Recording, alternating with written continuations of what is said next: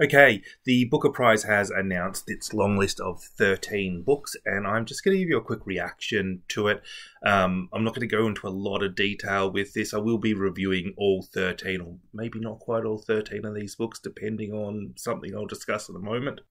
Now, if you are, are coming in here to hear the long list, this is what it is. It is Wandering Souls by Tommy Orange, Wild Houses by Colin Barrett, Held by Anne Michaels.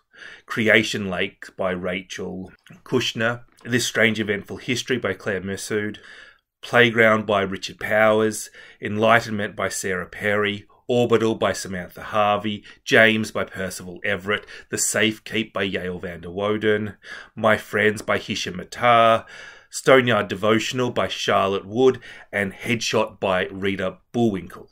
Okay, so let's just quickly go through these books one at a time, and I'll give you a reaction to these books individually.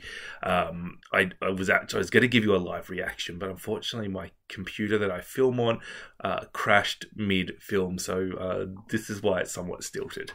Uh, Wandering Souls is that thing that we all love on the Booker long list, and that is a sequel, or in this case, it is a sequel and a prequel. Um, yeah, it's, it's a good book. I, I do think you need to read There There first. It's about Indigenous history and gun violence and the history of America, and it sort of links all these things together in a really clever and intelligent way. Um, the other thing that we absolutely love, even more than sequels, are books on the long list that aren't going to be released until after the shortlist is announced. Richard Powers. Oh, I mean, this book sounds good. Powers has this weird way of combining nature writing with science fiction in this weird literary fiction esque style, which uh, is different in each book and quite experimental sometimes and quite beautiful other times and sometimes he really works for me and sometimes he doesn't sometimes uh, i really don't like the overstory for example um, but you know, it's a book that I was excited to read, but I just think that this is the Booker Prize smacking itself in the face and everybody around it with a giant plank of wood Booker Prize. We want to read these books. We want to read these books so we can form our own opinion on them and get outraged by the judges or agree with the judges. We don't really care which one. We just want to support the books and, and get involved. And by having a book that is so not accessible to us, on the long list.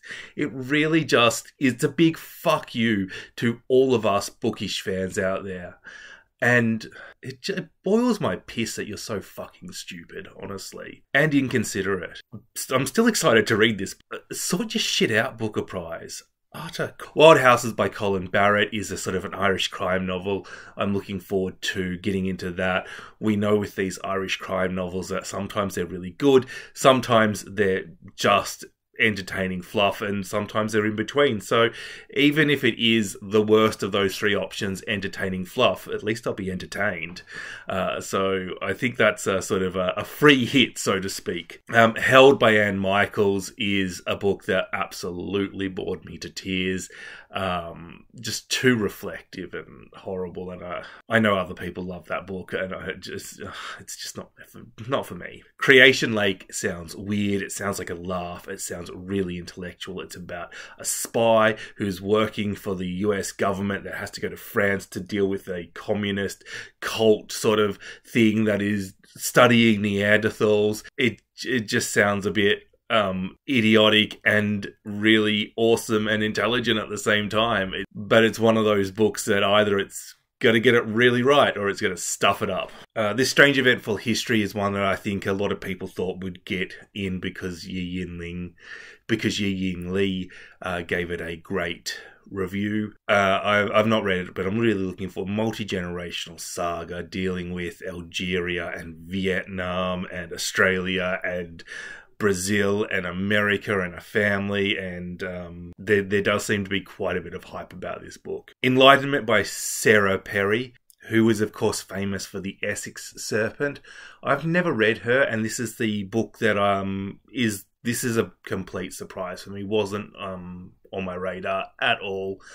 Probably should have been, but um I I'm not prepared to comment on this one. I hate to say it. This is one I'm kind of looking forward to because I know nothing about it, and that's always a lovely position to go into a book with. Orbital uh, by Samantha Harvey. This is the one where we're going around the planet for with uh, eight or twelve astronauts or something, and everything's quite reflective. It actually sounds like a book I think it's quite similar sounding to Headshot, which is about eight women athletes who are boxing athletes, and it's very reflective on their life and their character building. But I've read Headshot. I think it's a good book. I've not read all, but also I can't comment on whether it's the same or not. But it does seem to be like quite structurally similar in in it. Um, Headshot is of course by Rita Bullwinkle. I think that's um, I'm really looking forward to seeing what people have to say about Headshot. Uh, I've, you know, I've read it. I enjoyed it. wasn't the best book I read, but I did enjoy it. I suspect that some of the comments and the commentary on it might just improve my reading experience of it, and uh, I, am really hopeful that that happens. James by Percival Everett. I mean, uh, obviously this has made the long list because obviously, and uh, well worth it. Um, I'm not going to tell you about it. You know about James. If you don't know about James, you're not into books at the moment. The Safe Keep by Yael van der Wouden is one of the best books I have read this year, as to is James, by the way. That's This is sort of my two favorites in a row from this long list that I have read so far. There's, you know, I've read about half of it, half of it, or five in a DNF. So I mean, that, that's pretty close to half. Um, yeah, the Safe Keep is just wonderful, and uh, I think it makes a lot of really cool commentary, and it's very thought provoking. And there is something that happens in it, and I don't think that that is like like it's not really a plot twist. It just really highlights the themes and it gets you thinking. And it's just a book that is so much more complicated than racism or it's it's socially critical in a way that it's not it's not like criticizing critical it's analyzing critical.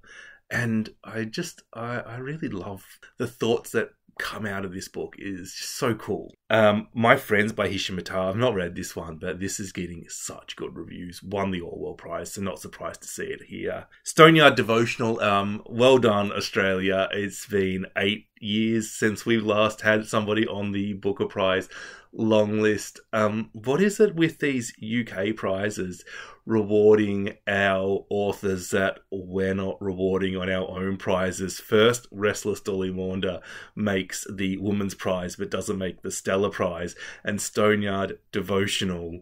Um, I think Stoneyard did Stoneyard Devotional make it on the Miles Franklin. I can't. I think it might have actually, but it didn't make it on the Miles Franklin shortlist anyway. I don't think this is the best book to come out of Australia, and uh, it's it's a good read, but I'm a bit surprised to see this one make the Booker long list, I have to say. I'm a bit disappointed in this long list for a few reasons. Enlightenment is the only surprise for me here, and really, that shouldn't have been a surprise. Last year we got Pearl, and we got the All the Pretty Bird Hearts, and there were just so many books I'd not heard head nor tail about. This just sort of feels like uh, they've gotten the you know the the 30 or 40 biggest hits and just pulled straws to figure out which ones make the top 12. I'm really disappointed to see that my little rumor about a Nigerian author that making it wasn't true. I'm really disappointed to see Chigozie Obioma miss out. Um, I know a lot of people are going to be very disappointed to see Praiseworthy by Alexis Wright miss out. Um, Alexis Wright doesn't really work for me, and I've not, but I've not read Praiseworthy, so it's it's possible that she could be doing something different. But it's not the big books that really concern me because I think there's enough big titles on this. There's a, there's enough big names on this. I was I was just I was really hoping for something left field, and it's not there.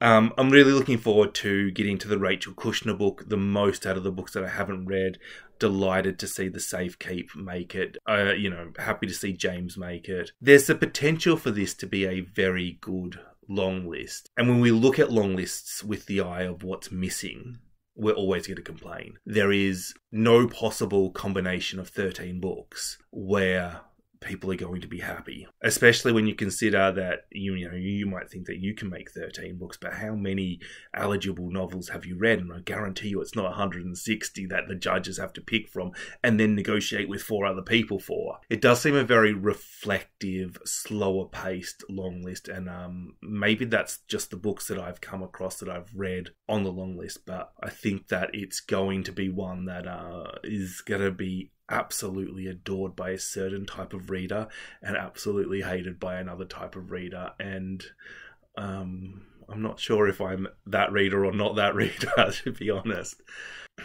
With all these long lists, I think the proof is really in the reading. I am going to read 12 of these books. I'm not going to read the Richard Powers one because unless I can somehow get an arc of it, which is very unlikely. Um, and I'll be reviewing all of the book along list except for the Richard Powers book on this channel. So if um, if you want to hear some more coherent thoughts on it, uh, please make sure you subscribe. I, I, feel like it's a mixed bag. I, this is a mixed bag. Uh, I could I could focus on the positive or I could focus on the negative, couldn't I? And uh, let's let's hope that by the end of this, I'm focusing on the positive because there's so much more of it. Happy reading. Bye bye.